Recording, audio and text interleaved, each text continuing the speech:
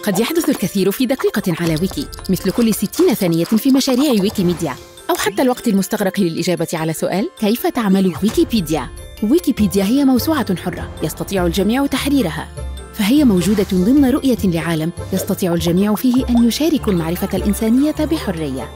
هنالك ما يقرب من 300 ألف متطوع مثلك من جميع أنحاء العالم في كل شهر ليكتبوا المحتوى ويحرروه ويحدثوه ويناقشوه ويتحققوا من وقائعه وهو ما يساهم في تحقيق الرؤية. ويدأب هؤلاء المتعاونون والمساهمون والمبدعون على تبويب وجمع المعلومات الدقيقة والمحايدة والموثقة والمتاحة للجميع لسهولة الوصول إليها واستخدامها. وهذا ربما قد يكون السبب في أن تصبح ويكيبيديا إحدى القبلات الأولى على الإنترنت ليتجه إليها الراغب في تعلم أي شيء.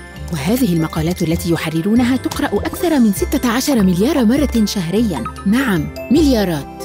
وغالبا ما تصبح المعرفة التي ينشئونها مصدرا للمعلومات التي تغذي بعض محركات البحث الأساسية والمساعدين الصوتيين الافتراضيين. وهذا شرح لكيفية عمل ويكيبيديا في دقيقة فقط. هل لديك دقيقة أخرى؟ يرجى مشاهدة مقاطع الفيديو الأخرى في هذه السلسلة.